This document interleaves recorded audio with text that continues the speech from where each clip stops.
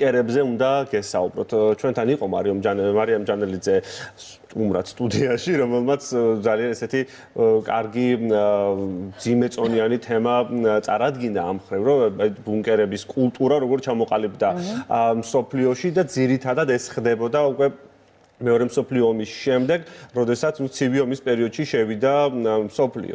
და ერთ-ერთი ასეთი ბუნკერი მდებარეობს ამერიკის შეერთებულ შტატებში, რომელიც გადაახალისა ერთმა ბიზნესმენმა ლარი ჰოლმა, რომელმაც 300.000 დოლარად შეიძინა ეს და ეს არის მართლაც რაღაცა უნიკალური ფეშენებელური ბუნკერი, თუ შეიძლება მას უწოდოთ. ეხლა ფოტოებს, რასაც უყურებთ, ეს ყველაფერი ამ ბუნკერშია გათავსებული. ეს არის 15 სართული 15 სართულიანი ბუნკერი, რომელიც მიწის ქვეშ არის განლაგებული, 1900 კვადრატული მეტრის ფართობზე არის ის და ზუსტად არავინ იცის, იმიტომ რომ გასაიდუმლოებული არის ეს მისი ადგილმდებარეობა, ну სად არის ეს ბუნკერი, თუმცა ну, ასე ვთქვათ, ის მაინც გადაღებული არის, ასე ვთქვათ, სტუმრები დადიან და ნახულობენ, მაგრამ ნუ ადგილს არასაჯაროებენ. კანზასის შტატში მდებარეობს, ისე რომ ვიცოდეთ.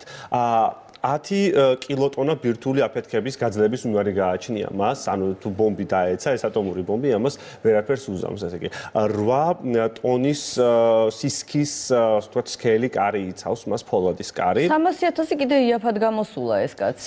ეს მეტყვი რომ ასე ვთქვათ, გაფუჭებული იყო და ამან მე ანუ გაარემონტა და შეიტანა ტექნიკა და გადაახალისა როგორც შეც. ხალისი კი ექნებოდა ეხა 300.000 დოლარს რო ის. ხან ეხა რასაც ხედავთ ფოტოებზე, ხო ძალიან საინტერესო, ხა რა შედის ამაში, ხო? ერთი რომ 75 ადამიანის ამ 12 ოჯახის შენახვა შეუძლია მას 5 წლის განმავლობაში, ანუ თუ ჩახვალ 5 წელი შეიძლება არც ამოხვიდეს ზემოთ და არა საკვების მარაგიც არის უკვე. ყველაფერი ნათია, ეხა ჩამოგითვლი მოკლედ.თან უყურებთ რომ ეს არის თვითსაკმარისი ელექტროენერგია, რაზეც მუშაობს, ანუ აკუმულატორები გააჩნია კიდევ წის ქარის წესქვილი კი არა და ქარის ენერგიასაც მოიხმარს. აი ერთი სართულის ჭრილია ესე გამოიყურება, ანუ შედის იქ მისაღები ოთახი, საპირფარეშო, საძინებელი ორი და ასე შემდეგ. ხო, ეს არის კვების ბლოკები, ხო, რა პატარა, მაგრამ დიდებიც აქვს. და ეხლა რა კიდე ბილიარდი, საავაჭრო ცენტრი, სახლის კინოთეატრი, ანუ ყველა სართულზე არის ნამდვილის მოქმედი სამზარეულო, ასევე საკონტროლო ოთახი, საიდანაც კონტროლდება, იქ არის მიწოდება და სხვა სხვა სისტემა, ლიფტი, საცურაო აუზიც გააჩნია, ხედავთ, აი ეს არის ხმაქანები, ნათი თუ დაგაინტერესებს.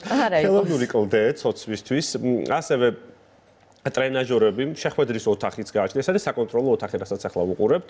ასევე სულფასოვანი საძინებლებიც გააჩნია, ახლა ლიფტს ვხედავთ, კიდევ სათავსოების სხვადასხვა ნაირი, აი ეს არის მაგალითად ასე ვთქვათ, აუზი, თავისი პატარა ხელოვნური პლაჟი, ტრენაჟორები, ხო, ასევე იარაღის სასრული პუნქტიც კი გააჩნია, თავისთავად ცხადია სამედიცინო პუნქტი, ასევე სათამაშო ავტომატები, ბიბლიოთეკა, ესეთი მშვენიერი სამზარეულო. ხო, ასევე ზოგ გასასვლელი არის მეტროს გასასვლელის სტილში სახლში მოწყობილი, ანუ ეს ყველაფერი შექმნილი არის იმისთვის, რომ ადამიანი თუ კი იქ იცხოვრებს, არ მოიწვინოს, არ გადაირიოს, არ დაემართოს კლაუსტროფობია და ფსიქოლოგიურადაც ჩამრთელი იყოს და ამის გამო ლარი ჰოლი ამბობს, რომელიც ერთ ასე ვთქვათ სართულს 3 მილიონ დოლარად ყიდის და სხვათა შორის უკვე რაღაც ნაწილი გაყიდულია. იმიტომ რომ ადამიანები ზრუნავენ იმაზე, რომ შეიძლება მართლა მოხდეს რამე და ეყიდა პატარა მართი, მართი კი არა და ფართი მარსზე. მასკისგან და წასულიყო იქ რაღაც ხარჯებოდა. არა მე საინტერესო მან ყველაზე მეტად რა ასე ვთქვათ მეჩვენა საინტერესო თუ კარგი დავშვათ იყიდე რაღაცა მაგრამ აი უნდა მიასწრო იმ დროს რომ რაღაც მოხდება ხო? იქვე პატარა ქოხში იცხოვრებს ალბათ აგუ დავშვათ აი ეს რატო არის გაკეთებული? იმიტომ რომ დავშვათ თუ ბირთვული ომი გაჩაღდა სოფლიოში რომ იქ ადამიანებმა თავი შეაფარონ და ვისაც ეს ნაყიდი აქვს ხო?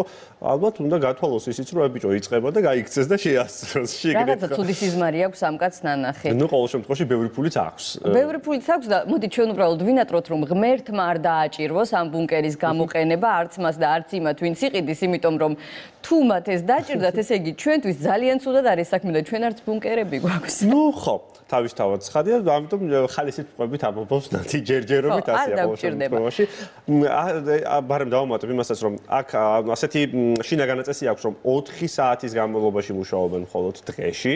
აი რა არის პლუსი ამ ყოლაფრის და ყოველ თვეში ერთხელ სამუშაოს იცვლიან რომ არ მოიწინო. და არ გაგიჟდებ